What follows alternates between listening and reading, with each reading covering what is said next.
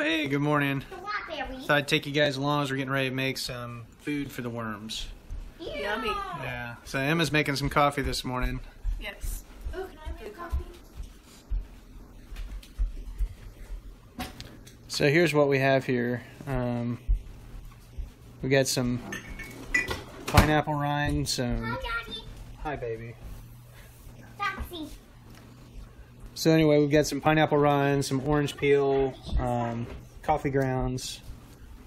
Really, any kind of like um, fruit, fruits or vegetables. Um, organic matter. We'll do coffee grounds, tea bags. There's a variety of things you can use. Just don't want to put um, like meat or bones, like animal uh, products like that in there. Eggshells are good.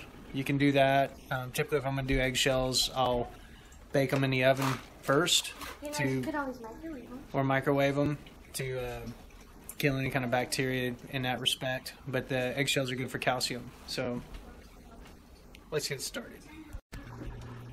All right, so here we go.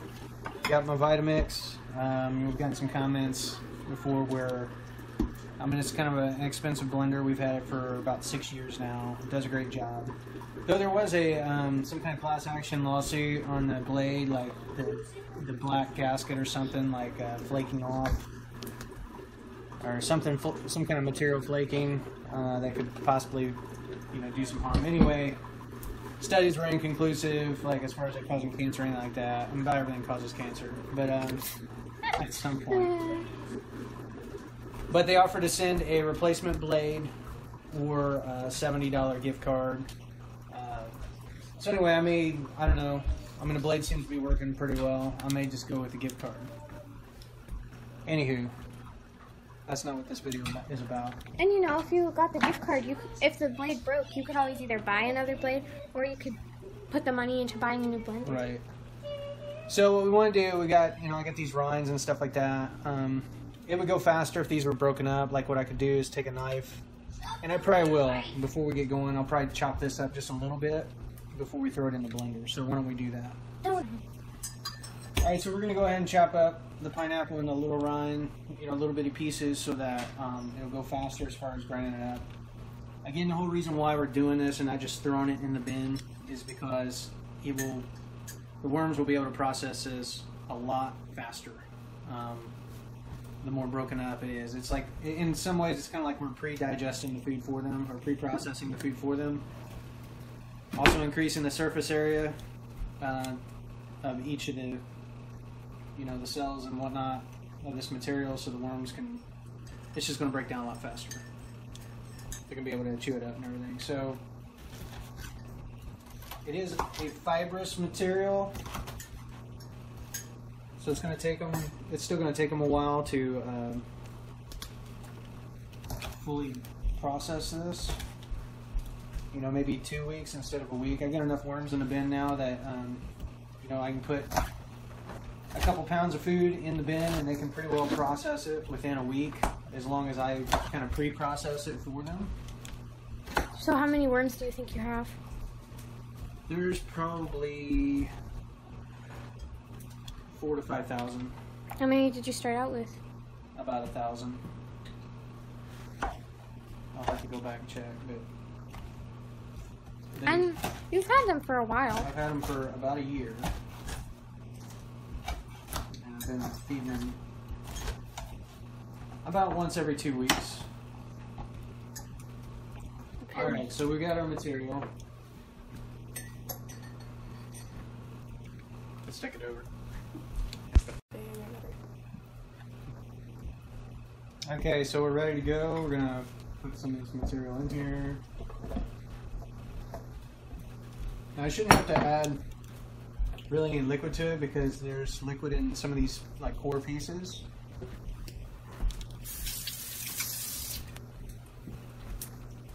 We're gonna put the lid on it. We'll start it out low.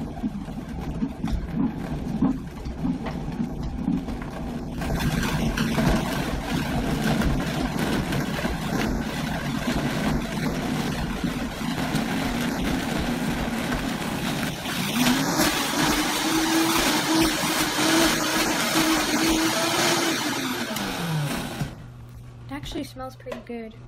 Smells like pineapple orange, doesn't it? Mm-hmm. And All right, so we got a little bit going. We're gonna put a little bit more in there. Actually, we'll just put the rest in there. once you put the coffee in, it's gonna start smelling real good.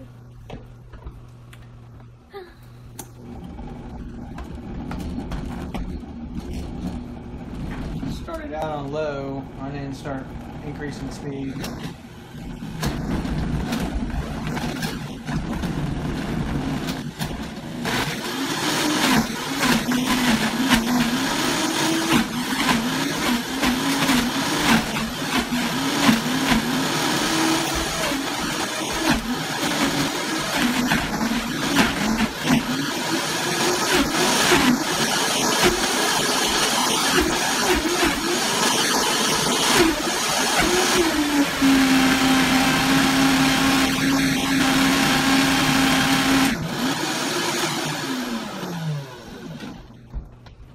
All right, so we went from like some really chunky, coarse pieces to this kind of sludge that we've got here, right?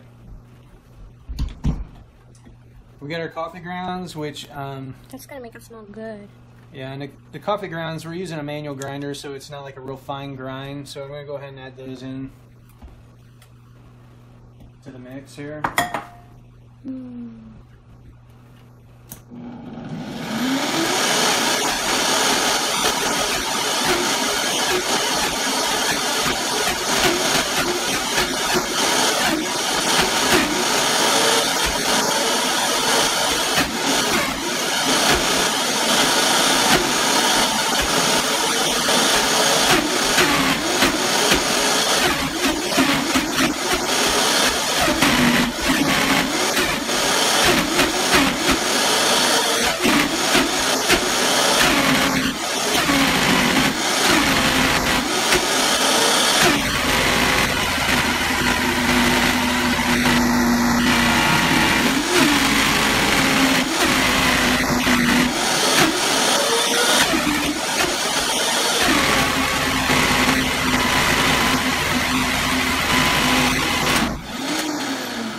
All right, that's good. So we got a pretty, pretty dense sludge. Yum. It will take them probably two weeks to eat through that. It looks like rotten guacamole. So yeah. It's so thick it doesn't even come out. so if we wanted to loosen that up, we could add some water to that. Um, and actually, in this case, I may go ahead and add some water to this because this is really dense. Okay.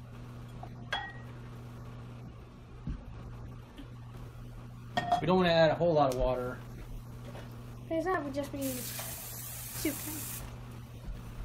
because we don't want to attract bugs. But we're going to add about a quarter cup.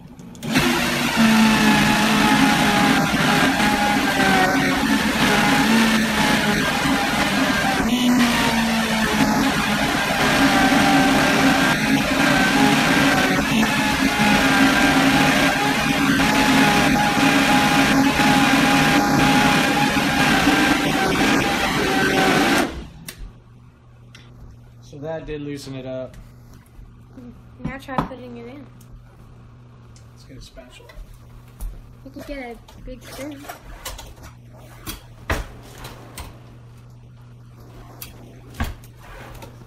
No, we've one around here.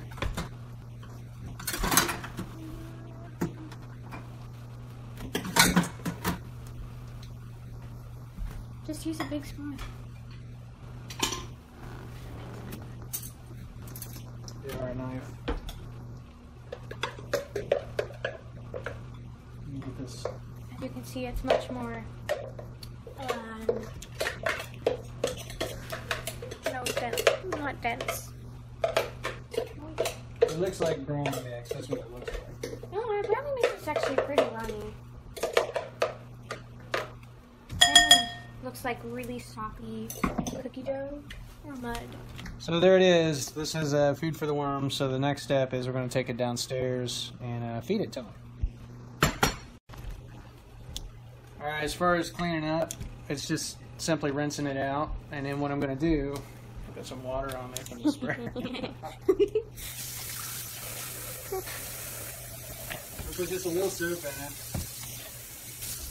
And basically this thing washes itself because I can put it on the uh, stand here. Don't you need to put the lid on?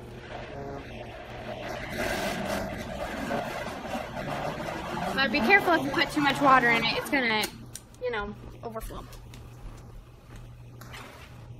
It's like a milkshake when you pour it out. it out.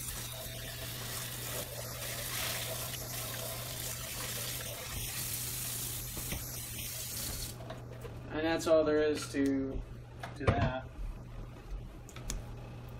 Lid's pretty easy to rinse out too. And it's got a non-stick surface, so I just take a little sponge.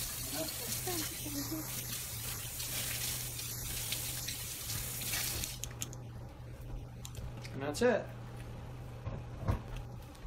So anyway, uh, if you're thinking about getting a Vitamix or like a new blender or something, highly recommend the Vitamix. It's been kind of my go-to gadget for um, not just processing warm food, but um, six processing vegetables and things like that. So